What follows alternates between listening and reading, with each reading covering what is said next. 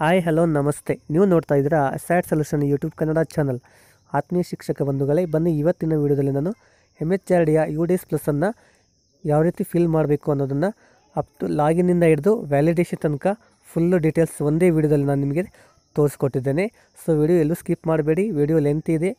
ಆದರೂ ಕೂಡ ನೋಡಿ, ಎಲ್ಲ ಇನ್ಫಾರ್ಮೇಷನ್ ಒಂದೇ ವಿಡಿಯೋದಲ್ಲಿ ನಿಮಗೆ ಸಿಗುತ್ತೆ. ಸೊ ಬನ್ನಿ ವಿಡಿಯೋ ಶುರು ಮಾಡೋಣ. ಅದಕ್ಕೂ ಮುಂಚೆ ನೀವು ಫಸ್ಟ್ ಟೈಮ್ ನಮ್ಮ ಚಾನಲ್ ನೋಡ್ತಾ ಇದ್ದರೆ ಎಜುಕೇಷನ್ಗೆ ಸಂಬಂಧಪಟ್ಟ ಎಲ್ಲ ಮಾಹಿತಿಗೆ ದಯವಿಟ್ಟು ನಮ್ಮ ಚಾನಲ್ಗೆ ಸಬ್ಸ್ಕ್ರೈಬ್ ಆಗಿ. ಸೊ ಬನ್ನಿ ವಿಡಿಯೋ ಶುರು ಮಾಡೋಣ. ಮೊದಲಿಗೆ ನಾವು ನಮ್ಮ ಮೊಬೈಲಲ್ಲಿ ಬ್ರೌಸರನ್ನು ಓಪನ್ ಮಾಡಿ. ಓಪನ್ ಮಾಡಿಬಿಟ್ಟು ಸರ್ಚ್ ಬಾರಲ್ಲಿ ಯು ಡೈಸ್ ಪ್ಲಸ್ ಅಂತ ಟೈಪ್ ಮಾಡಿ. ಯು ಡೈಸ್ ಪ್ಲಸ್ ಅಂತ ಟೈಪ್ ಮಾಡಿ ಸರ್ಚ್ ಕೊಡಿ. ಸರ್ಚ್ ಕೊಟ್ಟಾಗ ನೋಡಿ ಈ ರೀತಿ ನಮಗೆ ಲಿಂಕ್ ಓಪನ್ ಆಗುತ್ತೆ. U DISE plus dot G O V dot in ಅಂತ. ಸೊ ಅದರ ಮೇಲೆ ಕ್ಲಿಕ್ ಮಾಡಿ. ಮೊದಲನೇ ಲಿಂಕ್ ಮೇಲೆ ಕ್ಲಿಕ್ ಮಾಡಿ. ಸೊ ಈ ರೀತಿ ಯು ಡೇಸ್ ಪ್ಲಸ್ ಇದು ಎಂ ಎಚ್ ಆರ್ ಡಿ ಅವರ ಒಂದು central level U DISE plus ಇದು. ಸೊ ಇದರಲ್ಲಿ ನಾವು ಮಾಹಿತಿಯನ್ನು ಫಿಲ್ ಮಾಡಬೇಕಾಗಿದೆ. ಸೊ ನೆಕ್ಸ್ಟ್ ಹಿಂಗೆ ಸ್ಕ್ರಾಲ್ ಮಾಡ್ತಾ ಬನ್ನಿ. ನಾವು ಎಲ್ಲಿ ಲಾಗಿನ್ ಆಗಬೇಕಂದ್ರೆ ಹಿಂಗೆ ಸ್ಕ್ರಾಲ್ ಮಾಡ್ತಾ ಬನ್ನಿ. ನೋಡಿ, ಇಲ್ಲಿ login for Uttar Pradesh Madhya Pradesh Karnataka and Bihar ಅಂತ ಇದೆ ನೋಡಿ. ಸೊ ಎರಡನೇ ಆಪ್ಷನ್ನು ಅದರ ಮೇಲೆ ಕ್ಲಿಕ್ ಮಾಡಿ. ಅದರ ಮೇಲೆ ಕ್ಲಿಕ್ ಮಾಡಿದರೆ ನಮಗೆ ಲಾಗಿನ್ ಪೇಜ್ ಓಪನ್ ಆಗುತ್ತೆ. ಲಾಗಿನ್ ಫಾರ್ ಆಲ್ ಯೂಸರ್ಸ್ ಅಂತ ಇದೆ. ಯೂಸರ್ ನೇಮು ಮತ್ತು ಪಾಸ್ವರ್ಡು ಕ್ಯಾಪ್ಚ ಹಾಕಬೇಕು. ಯೂಸರ್ ನೇಮ್ ಅಂದರೆ ನಿಮ್ಮ ಶಾಲೆಯ ಒಂದು ಯೂಸ್ ಡೈಸ್ ಕೋಡೆ ಯೂಸರ್ ನೇಮ್ ಆಗಿರುತ್ತೆ. ಪಾಸ್ವರ್ಡ್ ಅಂದರೆ ನಿಮ್ಮ ಮೊಬೈಲಿಗೆ ನಿಮ್ಮ ಬ್ಲ್ಯಾಕಿಂದ ಪಾಸ್ವರ್ಡನ್ನು ಜನ್ರೇಟ್ ಮಾಡಿ ಕಳಿಸಿರ್ತಾರೆ. ಆ ಪಾಸ್ವರ್ಡನ್ನು ಹಾಕಿ, ನೆಕ್ಸ್ಟ್ ಇಲ್ಲಿ ಕೊಟ್ಟಿರ್ತಕ್ಕಂಥ ಕ್ಯಾಪ್ಚವನ್ನು ಹಾಕಿ ಲಾಗಿನ್ ಆಗಿ. ಲಾಗಿನ್ ಆದಮೇಲೆ ನಮ್ಮ ಶಾಲೆಯ ಒಂದು U D S plus home page ಈ ರೀತಿ ಕಾಣುತ್ತೆ ನೋಡಿ. ನಿಮ್ಮ ಶಾಲೆ ಹೆಸರು ಇರುತ್ತೆ. ಸೊ ಇಲ್ಲೆಲ್ಲ ಡೀಟೇಲ್ಸ್ ನೋಡ್ಬೋದು ಇಲ್ಲಿ. ಫಾರಮ್ ಸೀರಿಯಲ್ ನಂಬರ್ ಇರುತ್ತೆ. ಇವು ಸೀರಿಯಲ್ ನಂಬರು ಇಲ್ಲಿ D C F number form name ಇದೆ. ಆಮೇಲೆ ಫಾರಮ್ ಸ್ಟೇಟಸ್ ನಾಟ್ ಸ್ಟಾರ್ಟೆಡ್ ಅಂತ ಇದೆ. ನಾವಿನ್ನು ಯಾವುದೇ ರೀತಿಯ ಇದನ್ನು ತುಂಬೋದಕ್ಕೆ ಪ್ರಾರಂಭ ಮಾಡಿಲ್ಲ. ಹಾಗಾಗಿ ನಾಟ್ ಸ್ಟಾರ್ಟೆಡ್ ಅಂತ ತೋರಿಸ್ತಾ ಇದೆ. ಸೊ ಈಗ ನಾವು ಒಂದೊಂದೇ ಫಾರಮನ್ನು ಫಿಲ್ ಮಾಡ್ತಾ ಹೋಗೋಣ. ಈಗ ಮೊದಲನೇದಾಗಿ ಸೆಕ್ಷನ್ ಒಂದನ್ನು ನಾನು ನಿಮಗೆ ತೋರಿಸ್ತೀನಿ. ಓಕೆನಾ ಸೆಕ್ಷನ್ ಒಂದು. ಸೆಕ್ಷನ್ ಒಂದರಲ್ಲಿ ಸುಮಾರು ಐದು ಅಂಶಗಳು ಬರ್ತವೆ. ಓಕೆನಾ ಸೆಕ್ಷನ್ ಒಂದರಲ್ಲಿ ಐದು ಅಂಶಗಳು ಬರ್ತವೆ. ಈಗ ನಿಮಗೆ ತೋರಿಸ್ತಾ ಹೋಗ್ತೀನಿ. ಮೊದಲನೇದಾಗಿ school profile update school basic details ಅಂತ ಐತಲ್ಲ, ಅದರ ಮೇಲೆ ಕ್ಲಿಕ್ ಮಾಡಿ. ಸೊ ಅದರ ಮೇಲೆ ಕ್ಲಿಕ್ ಮಾಡಿದರೆ ನಮಗೆ ನೆಕ್ಸ್ಟ್ ಈ ರೀತಿಯ ಒಂದು ಪೇಜ್ ಓಪನ್ ಆಗುತ್ತೆ. ನೋಡಿ one point one to one point one four ಅಂತ.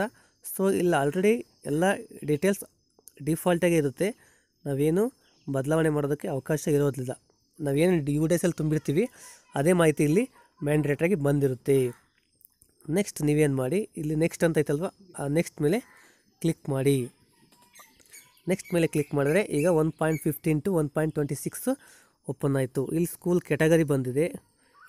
ನೆಕ್ಸ್ಟು ಲೋಯೆಸ್ಟು ನಿಮ್ಮ ಸ್ಕೂಲಲ್ಲಿ ಹೈಯೆಸ್ಟ್ ಎಷ್ಟಿದೆ? ಇಲ್ಲೆಲ್ಲ ಇನ್ಫಾರ್ಮೇಷನ್ ಇದೆ. ಓಕೆನಾ? ಒಂದ್ಸರಿ ಚೆಕ್ ಆಲ್ರೆಡಿ ಡಾಟಾ ಫಿಲ್ ಆಗಿರುತ್ತೆ, ನೀವು ಒಂದ್ಸರಿ ಚೆಕ್ ಮಾಡಿ ಸೇವ್ ಮಾಡಬೇಕಾಗಿರುತ್ತೆ ಅಷ್ಟೇ ಓಕೆನಾ ಇಲ್ಲಿ ನೆಕ್ಸ್ಟ್ ಸೆಕ್ಷನ್ಸ್ ಇದೆ. ನೋಡಿ, ಎಲ್ಲ ಇನ್ಫಾರ್ಮೇಷನ್ ಆಲ್ರೆಡಿ ಡಿಫಾಲ್ಟಾಗೆ ಬಂದಿದೆ ಓಕೆನಾ ನೆಕ್ಸ್ಟ್ ಚೆಕ್ ಮಾಡಿಬಿಟ್ಟು ನೀವೇನು ಮಾಡಿ, ಇಲ್ಲಿ ಸೇವ್ ಆ್ಯಂಡ್ ನೆಕ್ಸ್ಟ್ ಐತಲ್ಲ, ಅದ್ರ ಮೇಲೆ ಕ್ಲಿಕ್ ಮಾಡಿ. ನೆಕ್ಸ್ಟ್ ಇಲ್ಲಿ ಏನೋ ರಿಕ್ವೈರ್ಡ್ ಅಂತ ಕೇಳುತ್ತೆ ನೋಡಿ, ಇಲ್ಲಿ ಏನಂದರೆ whether boarding facility are available for the following stage level ಅಂತ ಇದೆ ನೋ ಅಂತ. ಕೊಡಬೇಕು. ಓಕೆನಾ?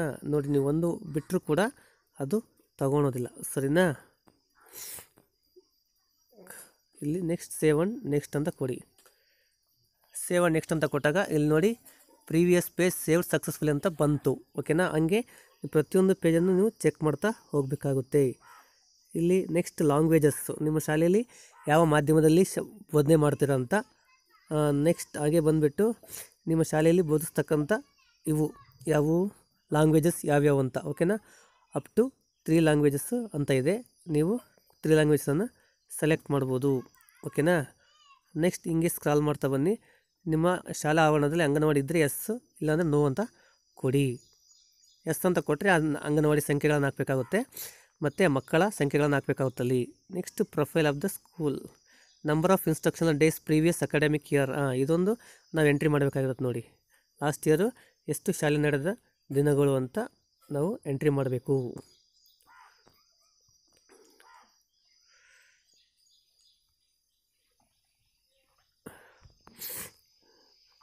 ನೆಕ್ಸ್ಟ್ ಅದಾದ ಮೇಲೆ ಆವ್ರೇಜ್ ಶಾಲೆಯಲ್ಲಿರ್ತಕ್ಕಂಥ ಮಕ್ಕಳು ಎಷ್ಟು ಗಂಟೆ ಇರ್ತಾರೆ, ಶಿಕ್ಷಕರು ಎಷ್ಟು ಗಂಟೆ ಇರ್ತಾರೆ ಅಂತ ಅದೊಂದು ಆವ್ರೇಜನ್ನು ನೀವು ಹಾಕಬೇಕಾಗಿರುತ್ತೆ. ಎಂಟ್ರಿ ಮಾಡಿ ಸೇವ್ ಆ್ಯಂಡ್ ನೆಕ್ಸ್ಟ್ ಕೊಡಿ. ಸೇವ್ ಆ್ಯಂಡ್ ನೆಕ್ಸ್ಟ್ ಕೊಟ್ಟಾಗ ಈ ರೀತಿ ನೆಕ್ಸ್ಟ್ ಪೇಜ್ ಓಪನ್ ಆಗುತ್ತೆ. ಇಲ್ಲಿ ಸಿ ಸಿ ಬಗ್ಗೆ ಇದೆ. C C being implemented in school ಅಂತ ಇದೆ ಎಸ್ ಅಂತ ಇದೆ. ಸೊ ಆಲ್ರೆಡಿ ಇರುತ್ತೆ. ನೀವು ಜಸ್ಟ್ ಸ್ಕ್ರಾಲ್ ಮಾಡ್ತಾ ಬನ್ನಿ. ಇಲ್ಲಿ ನೋಡಿ one point four three whether ಏನೇ ಔಟ್ ಆಫ್ ಸ್ಕೂಲ್ ಚಿಲ್ಡ್ರನ್ ಏನಾದರೂ ಇದ್ದರೆ ಶಾಲೆ ಬಿಟ್ಟು ಎಸ್ ಕೊಡಿಲ್ಲ ನೋ ಕೊಡಿ. ಹಂಗೆ ಸ್ಕ್ರಾಲ್ ಮಾಡ್ತಾ ಬನ್ನಿರಿ number of student attending remedial teaching ಪರಿಹಾರ ಬೋಧನೆಗೆ ಒಳಪಡ್ತಕ್ಕಂಥ ಮಕ್ಕಳ ಸಂಖ್ಯೆ. ಅದರದ್ದು ಅಕಾಡೆಮಿಕ್ ಸೆಷನ್ ಸ್ಟಾರ್ಟ್ ಅಂತ ಇದೆ. ಸೊ ಚೆಕ್ ಮಾಡಿಬಿಟ್ಟು ನೀವೇನು ಮಾಡಿ? ಮಾಹಿತಿಯನ್ನು ತುಂಬ್ತಾ ಹೋಗಿ. ಅಲ್ಲಿ ಓದ್ಕೊಂಡ್ರೆ ನೀವು ಆಲ್ರೆಡಿ ಡೈಸ್ ತುಂಬಿರ್ತೀರಲ್ವ? ಸೊ ನಿಮಗೆ ಗೊತ್ತಿರ್ತತೆ. ಹಾಗಾಗಿ ತುಂಬ್ತಾ ಹೋಗಿ. ಏನು? ಕಷ್ಟ ಅನ್ಸಲ್ಲ.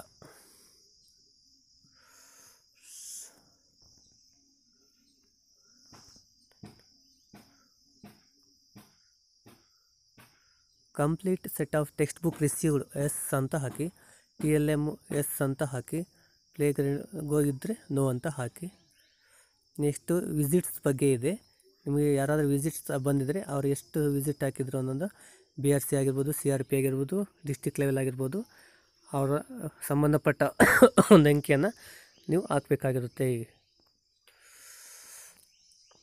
ನೆಕ್ಸ್ಟ್ ಹಾಕ್ಬಿಟ್ಟಿಲ್ಲಿ ಸೇವ್ ಅಂಡ್ ನೆಕ್ಸ್ಟ್ ಕೊಡಿ. ಸೇವ್ ಆ್ಯಂಡ್ ನೆಕ್ಸ್ಟ್ ಕೊಟ್ಟಾಗ ನೆಕ್ಸ್ಟ್ ಮ್ಯಾನೇಜ್ಮೆಂಟಿಗೆ ಬರುತ್ತೆ. ಇಲ್ಲಿ ಎಸ್ ಡಿ ಎಂ ಸಿಗೆ ಸಂಬಂಧಪಟ್ಟಂಥ ಒಂದು ಮಾಹಿತಿ ಇರುತ್ತೆ. ಡಿಫಾಲ್ಟಾಗಿ ಇರುತ್ತೆ ಎಲ್ಲ ಇನ್ಫಾರ್ಮೇಷನ್ನು. ನೀವೇನು ಮಾಡೋ ಅವಶ್ಯಕತೆ ಇಲ್ಲ. ಸ್ಕ್ರಾಲ್ ಮಾಡಿ ಸೇವ್ ಆ್ಯಂಡ್ ನೆಕ್ಸ್ಟ್ ಕೊಡಿ. ಸೇವ್ ಆ್ಯಂಡ್ ನೆಕ್ಸ್ಟ್ ಕೊಟ್ಟಾಗ ನೆಕ್ಸ್ಟ್ ಕ್ಲಾಸ್ ರೂಮಿಗೆ ಬಂದ್ವಿ. ಕ್ಲಾಸ್ ರೂಮಿಗೆ ಸೆಕ್ಷನ್ ಟೂಗೆ ಬಂದ್ವಿ. ಓಕೆನಾ? ಇಲ್ಲಿ ತನಕ ನಾನು ಸೆಕ್ಷನ್ ಒಂದು ಆಯಿತು ಈಗ ಸೆಕ್ಷನ್ ಟೂಗೆ ಇಲ್ಲಿ status of school building government ಇದೆ. ಸೊ ನೋಡಿ ಇನ್ಫಾರ್ಮೇಷನ್ ಆಲ್ಮೋಸ್ಟ್ ಆಲ್ ಎಲ್ಲ ಇದೆ. ನೀವು ಏನು ಮಾಡಿ ಚೆಕ್ ಮಾಡಿ ಚೆಕ್ ಮಾಡಿಬಿಟ್ಟು ಜಸ್ಟ್ ನೀವು ಸೇವ್ ಆ್ಯಂಡ್ ನೆಕ್ಸ್ಟ್ ಕೊಡ್ತಾ ಹೋಗಿ. ನೆಕ್ಸ್ಟು ಟಾಯ್ಲೆಟ್ ಫೆಸಿಲಿಟಿಗೆ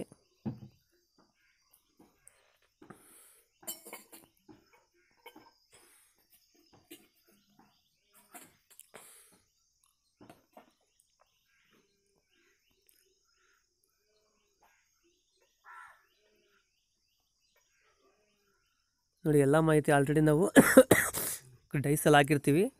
ಸೊ ಅದೇ ಮಾಹಿತಿ ಇಲ್ಲಿ ಬಂದಿರುತ್ತೆ. ಸೊ ನೀವೇನು ಅವಶ್ಯಕತೆ ಇರಲ್ಲ ಜಸ್ಟ್ ಸೇವ್ ಆ್ಯಂಡ್ ನೆಕ್ಸ್ಟ್ ಕೊಡಿ. ಚೆಕ್ ಮಾಡಬೇಕಷ್ಟೇ ನೀವು. ಚೆಕ್ ಮಾಡಿಬಿಟ್ಟು ಯಾವುದಾದ್ರೂ ಮಾಹಿತಿನ ತುಂಬಿಲ್ಲ ಅಂದರೆ ನೋಡಿ ಇದೆಲ್ಲ ರಿಕ್ವೈರ್ಡ್ ಅಂತ ಕೇಳುತ್ತೆ. ಮೆಡಿಕಲ್ ಚೆಕಪ್ ಓಕೆನಾ ಕಂಡಕ್ಟೆಡ್ ಎಸ್ ಅಂತ ಕೊಡಬೇಕು.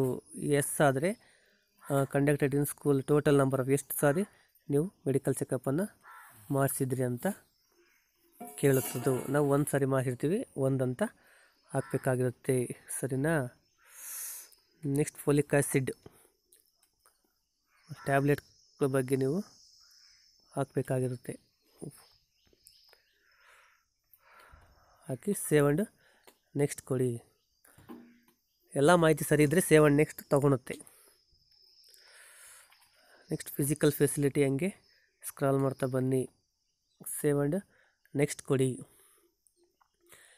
ಕಂಪ್ಯೂಟರ್ ಆ್ಯಂಡ್ ಡಿಜಿಟಲ್ ಇನ್ಸೆಂಟಿವ್ ಏನಾದರೂ ನಿಮ್ಮ ಶಾಲೆಗಿದ್ದರೆ ಅವುಗಳ ಮಾಹಿತಿಯನ್ನು ಕೊಡಿ, ಇಲ್ಲಾಂದರೆ ನೋ ಅಂತ ಕೊಟ್ಟು ಸೇವ್ ಆ್ಯಂಡ್ ನೆಕ್ಸ್ಟ್ ಕೊಡಿ. ಈಗ ಸೆಕ್ಷನ್ನು ತ್ರೀಗೆ ಬಂದಿದ್ದೀವಿ ಓಕೆನಾ ಸೆಕ್ಷನ್ ತ್ರೀಯಲ್ಲಿ ಟೀಚರ್ಗೆ ಟೀಚರ್ ನಾನ್ ಟೀಚರ್ ಸ್ಟಾಫ್ ಬಗ್ಗೆ ಮಾಹಿತಿಯನ್ನು ತುಂಬಬೇಕಾಗುತ್ತೆ ನಿಮ್ಮ ಶಾಲೆಯಲ್ಲಿ ಎಷ್ಟು ಜನ ಟೀಚರ್ ಇದ್ದಾರೆ? ಆ ಟೀಚರ್ ಸ್ಟಾಫನ್ನು ಅಲ್ಲಿ ಹಾಕಿ. ಓಕೆನಾ ಮತ್ತು ಆಧಾರ್ ನಂಬರ್ ಎಷ್ಟು ಜನಕ್ಕಿದೆ, ಆ ಸಂಖ್ಯೆನ ಹಾಕಿ ಸೇವನ್ ನೆಕ್ಸ್ಟ್ ಕೊಡಿ. ಒಂದು ಎಕ್ಸಾಂಪಲ್ ಅಂದರೆ ನೀವು ಇಲ್ಲಿ ಎಷ್ಟು ಸಂಖ್ಯೆ ಹಾಕಿರ್ತೀರೋ ನೆಕ್ಸ್ಟ್ ಇಲ್ಲಿ ಶಿಕ್ಷಕರ ಸಂಖ್ಯೆ ಕೂಡ ಅಲ್ಲಿ ಅಷ್ಟೇ ಇರಬೇಕು. ನಾನು ಎರಡು ಹಾಕಿದ್ದೆ. ಇಲ್ಲಿ ನೋಡಿ, ಇಲ್ಲಿ ಶಿಕ್ಷಕರ ಸಂಖ್ಯೆ ಎರಡು ಬಂದಿದೆ. ಓಕೆನಾ ಇಲ್ಲಿ ನೇಮ್ ಇದೆ, ಶಿಕ್ಷಕರ ಸಂಖ್ಯೆ ಇಂಗ್ಲೀಷಲ್ಲಿ ಇರಬೇಕು. ಕನ್ನಡದಲ್ಲಿದ್ದರೆ ಅದು ಕ್ವಶನ್ ಅವರ ಮಾರ್ಕಲ್ಲಿರುತ್ತೆ ಸೊ ಅಂಥ ಟೈಮಲ್ಲಿ ನೀವು ಅವರ ನೇಮನ್ನು ಇಂಗ್ಲೀಷಲ್ಲಿ ಎಡಿಟ್ ಮಾಡಬೇಕು. ಇಲ್ಲಿ ನೋಡಿ teacher status not completed not completed ಅಂತ ಬಂದಿದೆ. ಸೊ ಅದು ನಾವೀಗ ಕಂಪ್ಲೀಟ್ ಮಾಡಬೇಕು. ಇಲ್ಲಿ ಎಲ್ಲ ಮಾಹಿತಿ ಇರುತ್ತೆ. ಜಸ್ಟ್ ಎಡಿಟ್ ಮಾಡಿ ಶಿಕ್ಷಕರ ಒಂದು ತರಬೇತಿಯ ವಿವರಗಳನ್ನು ಹಾಕಿಬಿಟ್ಟು ಸೇವ್ ಕೊಡಬೇಕಷ್ಟೇ.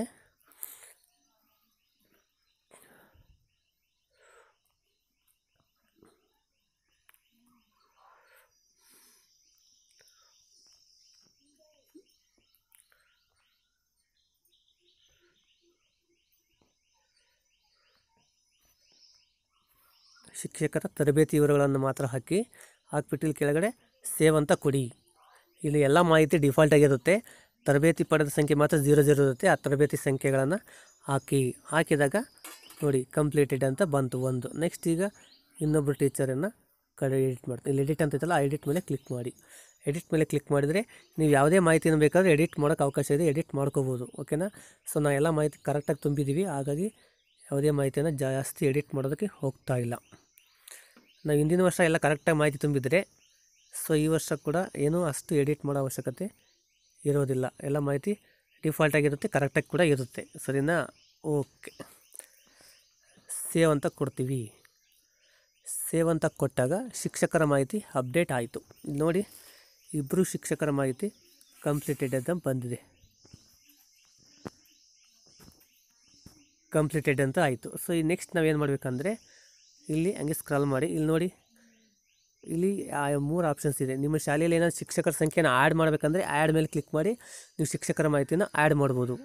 ನಾವು ಯಾವುದೇ ಶಿಕ್ಷಕನ ಆ್ಯಡ್ ಮಾಡ್ತಾ ಇಲ್ಲ. ಹಾಗಾಗಿ ಕಂಪ್ಲೀಟ್ ಆ್ಯಂಡ್ ನೆಕ್ಸ್ಟ್ ಮೇಲೆ ಕ್ಲಿಕ್ ಮಾಡ್ತೀನಿ. ಅಲ್ಲಿಗೆ ಸೆಕ್ಷನ್ ತ್ರೀ ಕಂಪ್ಲೀಟ್ ಆಯಿತು. ಓಕೆನಾ ಈಗ ನೆಕ್ಸ್ಟ್ ಸೆಕ್ಷನ್ ಫೋರಿಗೆ ಬರ್ತೀನಿ. ಓಕೆನಾ ಸೆಕ್ಷನ್ ಫೋರಿಗೆ ಇಲ್ಲಿ ಮಕ್ಕಳ ಒಂದು ಈ academic year two thousand twenty twenty ಒಂದು ಸ್ಟ್ರೆಂತ್ ಇಲ್ಲಿ ಸಿಗುತ್ತೆ. ನಾವಿಲ್ಲಿ ಆಲ್ರೆಡಿ ಡಿಫಾಲ್ಟ್ ಆಗಿರುತ್ತೆ. ಚೆಕ್ ಮಾಡ್ತಾ ಹೋಗೋಣ. ಇಲ್ಲಿ ಬಾಯ್ಸು ಮತ್ತು ಗರ್ಲ್ಸು ಫಸ್ಟ್ ಸ್ಟ್ಯಾಂಡರ್ಡ್ದು ಸೇವ್ ಆ್ಯಂಡ್ ನೆಕ್ಸ್ಟ್ ಮೇಲೆ ಕ್ಲಿಕ್ ಮಾಡಿ. Next enrolment social category wise ಇರುತ್ತೆ. ಓಕೆನಾ ಸೋಷಿಯಲ್ ಕ್ಯಾಟಗರಿ ವೈಸು ನಿಮಗೆ ಸ್ಟ್ರೆಂತ್ ಸಿಗುತ್ತೆ.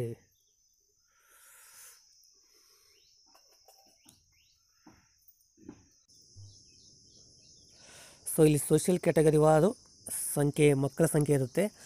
Grand total boys girls total ಇರುತ್ತೆ. ಇಲ್ಲಿ ಸೇವ್ ಅಂತ ಇರುತ್ತೆ. ಆ ಸೇವ್ ಮೇಲೆ ಕ್ಲಿಕ್ ಮಾಡಿ. ಸೇವ್ ಮೇಲೆ ಕ್ಲಿಕ್ ಮಾಡಿ, ಹಾಗೆ ಸ್ಕ್ರಾಲ್ ಮಾಡ್ತಾ ಬರಬೇಕಾಗುತ್ತೆ. ನೆಕ್ಸ್ಟ್ ಹಂಗೆ ಸ್ಕ್ರಾಲ್ ಮಾಡಿ. ಒಂದೊಂದೇ ಪೇಜನ್ನು ನಾವು ಸೇವ್ ಮಾಡ್ತಾ ಹೋಗಬೇಕು. ಇಲ್ಲಿ ರಿಲಿಜಿಯಸ್ ಧರ್ಮ, ಧಾರ್ಮಿಕ ಆಧಾರದ ಮೇಲೆ ಮಕ್ಕಳ ಸಂಖ್ಯೆ ಇರುತ್ತೆ. ಅದನ್ನು ಕೂಡ ನೀವು ಚೆಕ್ ಮಾಡಿ ಸೇವ್ ಮಾಡಬೇಕಾಗುತ್ತೆ. ನೆಕ್ಸ್ಟು ಬಿ ಪಿ ಎಲ್ ಯಾವ ಹಿಂಗೆ ಆಧಾರ್ ಬಿ ಪಿ ಎಲ್ ಎಷ್ಟು ಜನ ಇದ್ದಾರೆ, ಆ ಮಾಹಿತಿ ಇರುತ್ತೆ. ನೀವು ಅದನ್ನು ಚೆಕ್ ಮಾಡಿ ಸೇವ್ ಅಂತ ಕೊಡಬೇಕು. ಇಲ್ಲಿ ಸಪ್ರೇಟ್ ಸಪ್ರೇಟ್ ಸೇವ್ ಕೊಡಬೇಕು. ಸಪ್ರೇಟ್ ಸಪ್ರೇಟು ಸೇವ್ ಕೊಟ್ಟಾದಮೇಲೆ ಕೊನೆಗೆ, ಹಿಂಗೆ ಸ್ಕ್ರಾಲ್ ಮಾಡ್ತಾ ಬನ್ನಿ. ಇಲ್ಲಿ ಕಂಪ್ಲೀಟ್ ಆ್ಯಂಡ್ ನೆಕ್ಸ್ಟ್ ಅಂತ ಐತಿಲ್ಲ. ಅದರ ಮೇಲೆ ಕ್ಲಿಕ್ ಮಾಡಿ. ಇಲ್ಲಿ ಕ್ಲಿಕ್ ಮಾಡಿದಾಗ ಕೇಳುತ್ತೆ. ಸೋಷಿಯಲ್ ಕ್ಯಾಟಗರಿ ಎನ್ರೋಲ್ಮೆಂಟ್ ಹದಿಮೂರು ಅಂತ ಮೈನಾರಿಟಿ ಝೀರೋ ಅಂತ. ಓಕೆ ಕೊಡಿ.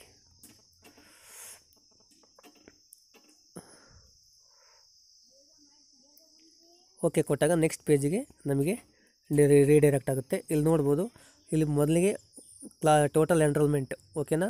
ನಮ್ಮ ಶಾಲೆ ಪ್ರಸಕ್ತ ಸಾಲಿನ ಒಂದು ಎನ್ರೋಲ್ಮೆಂಟ್ ಇದೆ. ಇಲ್ಲಿ ಏಜ್ ವಾರು, ವಯಸ್ಸಿಗೆ ಅನುಗುಣವಾಗಿ ಮಕ್ಕಳ ಸಂಖ್ಯೆ ಇದೆ. ಹಾಗೆ ಸ್ಕ್ರಾಲ್ ಮಾಡ್ತಾ ಬನ್ನಿ. ನೆಕ್ಸ್ಟ್ ಇಲ್ಲಿ ಕೆಳಗಡೆ ಸೇವ್ ಆ್ಯಂಡ್ ನೆಕ್ಸ್ಟ್ ಅಂತ ಐತಲ್ಲ, ಸೇವ್ ಆ್ಯಂಡ್ ನೆಕ್ಸ್ಟ್ ಮೇಲೆ ಕ್ಲಿಕ್ ಮಾಡಿ. ಸೇವ್ ಆ್ಯಂಡ್ ನೆಕ್ಸ್ಟ್ ಮೇಲೆ ಕ್ಲಿಕ್ ಮಾಡ್ತಾ ಹೋದರೆ ನೆಕ್ಸ್ಟ್ ಮೀಡಿಯಮ್ ಆಫ್ ಇನ್ಸ್ಟ್ರಕ್ಷನ್, ಅಂದರೆ ನಿಮ್ಮ ಶಾಲೆಯಲ್ಲಿ ಯಾವ ಮೀಡಿಯಮ್ ಇದೆ, ಅದರ ಮೇಲೆ ಮಕ್ಕಳ ಸಂಖ್ಯೆಯಲ್ಲಿ ಡಿಸ್ಪ್ಲೇ ಆಗುತ್ತೆ. ಚೆಕ್ ಮಾಡಿ. ಸೇವ್ ಆ್ಯಂಡ್ ನೆಕ್ಸ್ಟ್ ಕೊಡಿ. ಅದರ ಮೇಲೆ ಸೇವ್ ಆ್ಯಂಡ್ ನೆಕ್ಸ್ಟ್ ಕೊಟ್ಟಾಗ ನೆಕ್ಸ್ಟ್ ಸೋಷಿಯಲ್ ಕ್ಯಾಟಗರಿ ನೆಕ್ಸ್ಟ್ ಏನಾಗುತ್ತಂದರೆ ರಿಪೀಟರ್ಸ್. ಶಾಲೆಯಲ್ಲಿ ಏನಾದರೂ ರಿಪೀಟರ್ಸ್ ಇದ್ದರೆ ಆ ಒಂದು ಮಾಹಿತಿ ಇಲ್ಲಿ ಬರುತ್ತೆ. ಯಾವಿಲ್ಲ ಅಂದರೆ ಝೀರೋ ಝೀರೋ ಆಲ್ರೆಡಿ ಇರುತ್ತೆ. ಸೇವ್ ಕೊಡಿ. ಸೇವ್ ಕೊಟ್ಟು ನೆಕ್ಸ್ಟ್ ಹಂಗೆ ಸ್ಕ್ರಾಲ್ ಮಾಡ್ತಾ ಬನ್ನಿ. ನೆಕ್ಸ್ಟ್ ಸೇವ್ ಕೊಡಿ. ಆಲ್ಮೋಸ್ಟ್ ಆಲ್ ಮಾಹಿತಿ ಎಲ್ಲ ಕರೆಕ್ಟಾಗಿ ಇರ್ತದೆ ನೀವು ಸ್ಯಾಟ್ಸಲ್ಲಿ ಮಾಹಿತಿಯನ್ನು ಕರೆಕ್ಟಾಗಿ ತುಂಬಿದರೆ ಓಕೆನಾ ಹಾಗಾಗಿ ನೀವು ಜಸ್ಟ್ ಸೇವ್ ಅಂಡ್ ನೆಕ್ಸ್ಟ್ ಕೊಡ್ತಾ ಹೋಗಿ.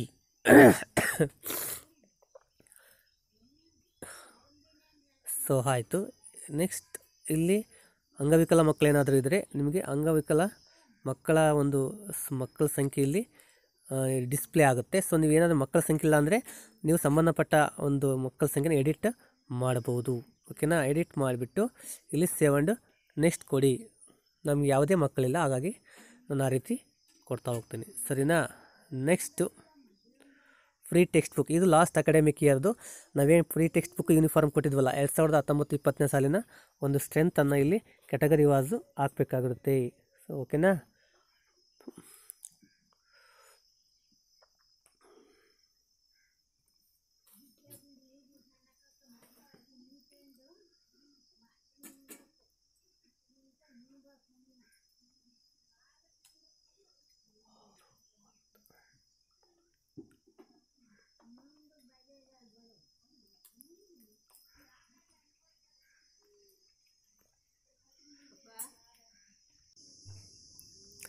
ಸೊ ಇಲ್ಲಿ free text book free uniform transports transport facility escort bicycle ಅಂತ ಇದೆ. ನಿಮಗೇನು ಅನ್ವಯ ಆಗುತ್ತೋ ಅದರ ಮುಂದೆ ಮಕ್ಕಳ ಸಂಖ್ಯೆಯನ್ನು ಕ್ಯಾಟಗರಿ ವಾಸು ಎಂಟ್ರಿ ಮಾಡಿಬಿಟ್ಟು ನೀವೇನು ಮಾಡಿ, ಇಲ್ಲಿ ಸೇವ್ ಅಂತ ಕೊಡಿ. ಸೇವ್ ಅಂತ ಕೊಟ್ಟಾಗ ನೆಕ್ಸ್ಟ್ ಅದೇ ಪೇಜ್ ಓಪನ್ ಆಗುತ್ತೆ. ಇಲ್ಲಿ ಫೈನಲ್ ಕಂಪ್ಲೀಟ್ ಆ್ಯಂಡ್ ನೆಕ್ಸ್ಟ್ ಅಂತ ಕೊಡಿ. ಕೊಟ್ಟಾಗ next facility provide to C W S N ಮಕ್ಕಳಿಗೆ. ಅಂಗವಿಕಲ ಮಕ್ಕಳಿಗೆ ಏನಾದರೂ ನೀವು ಯಾವ್ದಾದ್ರು ಫೆಸಿಲಿಟಿ ಕೊಡಿಸಿದರೆ ಆ ಸಂಖ್ಯೆಗಳನ್ನು ಹಾಕಬೇಕಾಗುತ್ತೆ. ಯಾವುದಿಲ್ಲ ಅಂದರೆ ಆ್ಯಂಡ್ ನೆಕ್ಸ್ಟ್ ಕೊಡಿ. ನೆಕ್ಸ್ಟ್ ಆನ್ಯಲ್ ಎಕ್ಸಾಮ್ ಅಂದರೆ ಪ್ರೀವಿಯಸ್ ಇಯರ್ ಎರಡು ಸಾವಿರದ ಹತ್ತೊಂಬತ್ತು ಇಪ್ಪತ್ತನೇ ಸಾಲಿನ ಐದನೇ ತರಗತಿಯ ಮಕ್ಕಳ ಒಂದು ಫಲಿತಾಂಶದ ಸಂಖ್ಯೆಯನ್ನು ಇಲ್ಲಿ ನಮೂದಿಸಬೇಕು. ಓಕೆನಾ? ಎಚ್ ಪಿ ಎಸ್ಗಳಿಗಾದರೆ ಐದು ಮತ್ತು ಎಂಟು ತರಗತಿಗೆ. ಓಕೆನಾ? ಎಂಟನೇ ತರಗತಿ ಇಲ್ಲ ಅಂದರೆ ಓನ್ಲಿ ಐದನೇ ತರಗತಿಗೆ ಮಾತ್ರ ನೀವು ಎಂಟ್ರಿ ಮಾಡಬೇಕು. ಸೊ ನಮ್ಮ ಶಾಲೆಯಲ್ಲಿ ಐದು ತರಗತಿ ಮಾತ್ರ ಇದೆ. ಹಾಗಾಗಿ ನಾನು ಎಂಟ್ರಿ ಮಾಡ್ತೀನಿ. ಓಕೆನಾ ಸೊ ಎಂಟ್ರಿ ಮಾಡಿಬಿಟ್ಟು ಇಲ್ಲಿ ಮಕ್ಕಳ ಸಂಖ್ಯೆಯನ್ನು ಸೇವ್ ಅಂಡ್ ನೆಕ್ಸ್ಟ್ ಕೊಡಿ. ಸೇವ್ ಆ್ಯಂಡ್ ನೆಕ್ಸ್ಟ್ ಕೊಟ್ಟಾಗ ಈ ರೀತಿ ನೆಕ್ಸ್ಟು ಸೆಕ್ಷನ್ ಎಂಟಕ್ಕೆ ಬರುತ್ತೆ. ಓಕೆನಾ ಸೆಕ್ಷನ್ ಎಂಟರಲ್ಲಿ ಇಲ್ಲಿ ಎಕ್ಸ್ಪೆಂಡಿಚರ್ ಆ್ಯಂಡ್ ರಿಸೀವ್ಡ್ ಎರಡು ಸಾವಿರದ ಹತ್ತೊಂಬತ್ತು ಇಪ್ಪತ್ತನೇ ಸಾಲಿನ ಒಂದು ಖರ್ಚು ವೆಚ್ಚದ ಬಗ್ಗೆ ಮಾಹಿತಿಯನ್ನು ಕೊಡಬೇಕು. ಸೊ ಇಲ್ಲಿ ಗ್ರ್ಯಾಂಟ್ಸನ್ನು ನೀವು ಎಂಟ್ರಿ ಮಾಡಿ ಆದಮೇಲೆ ನೆಕ್ಸ್ಟ್ ಇಲ್ಲಿ ಏಟ್ ಈ ಕಡೆ ಏನಾದರೂ ನೀವು ಕಮ್ಯುನಿಟಿಯಿಂದ ಎನ್ ಜಿ ಒಯಿಂದ ಏನಾದರೂ ನೀವು ಗ್ರ್ಯಾಂಡ್ಸನ್ನು ರಿಸೀವ್ ಮಾಡಿದ್ರೆ ಎಸ್ ಅಂತ ಕೊಡಿ, ಇಲ್ಲ ನೋ ಅಂತ ಕೊಡಿ.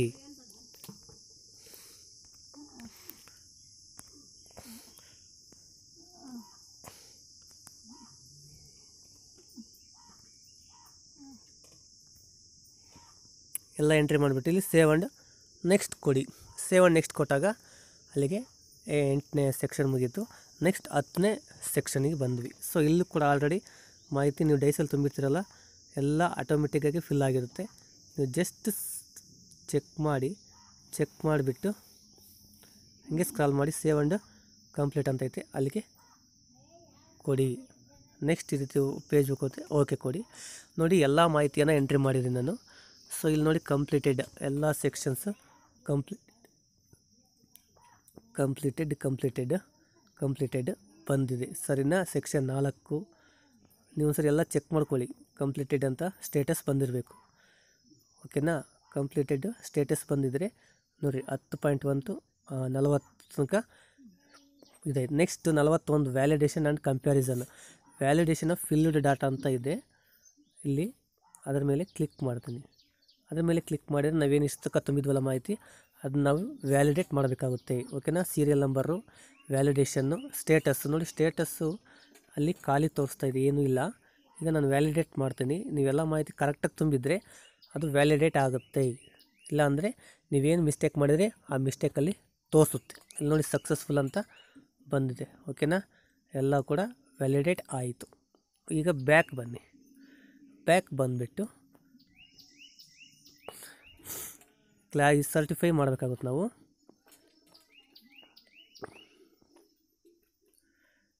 ನೋಡಿ next comparison and certify data ಅಂತ ಇದು. ನಲವತ್ತ್ಮೂರನೇದು ಇದು ನಾಟ್ ಸರ್ಟಿಫೈಡ್ ಅಂತ ಬಂದಿದೆ. ಓಕೆನಾ ಈಗ ನಾವು ಸರ್ಟಿಫೈ ಮಾಡಬೇಕಂದ್ರೆ ಕಂಪ್ಯಾರಿಸನ್ ಆ್ಯಂಡ್ ಸರ್ಟಿಫೈ ಅದ್ರ ಮೇಲೆ ಕ್ಲಿಕ್ ಮಾಡಿ. ಅದ್ರ ಮೇಲೆ ಕ್ಲಿಕ್ ಮಾಡಿದರೆ ಈ ರೀತಿ ನಮಗೆ ಕಂಪ್ಯಾರಿಸನ್ ಬರುತ್ತೆ. ಲಾಸ್ಟ್ ಇಯರ್ ಹತ್ತೊಂಬತ್ತು ಇಪ್ಪತ್ತು, ಇಪ್ಪತ್ತೊಂದನೇ ಸಾಲಿಂದ ಕಂಪ್ಯಾರಿಸನ್ ಡಾಟಾ ಬರುತ್ತೆ. ನೀವೆಲ್ಲ ಚೆಕ್ ಮಾಡಿಬಿಟ್ಟು ಸರ್ಟಿಫಿಕೇಷನ್ ಮಾಡ್ಯೂಲ್ ಅಂತ ಇದೆ. Certification is not at active come back after some days to certify data ಅಂತ ಇದೆ. ಸೊ ಇನ್ನೂ ಸರ್ಟಿಫಿಕೇಷನು ಆಕ್ಟಿವ್ ಆಗಿಲ್ಲ. ಆಮೇಲೆ ನಾವು ಸ್ವಲ್ಪ ದಿನ ಆದಮೇಲೆ ಬಂದು ಚೆಕ್ ಮಾಡಿ ಅಂತ ಮೆಸೇಜ್ ತೋರಿಸ್ತಾ ಇದೆ. ಸೊ ಇದಿಷ್ಟು ನಾವು ಯು ಡಿ ಎಸ್ ಪ್ಲಸ್ಸಲ್ಲಿ ಎಂ ಎಚ್ ಆರ್ ಡಿ ಅವರ ಯು ಡಿ ಎಸ್ ಪ್ಲಸ್ಸಲ್ಲಿ ತುಂಬಬೇಕಾಗಿರ್ತಕ್ಕಂಥದ್ದು.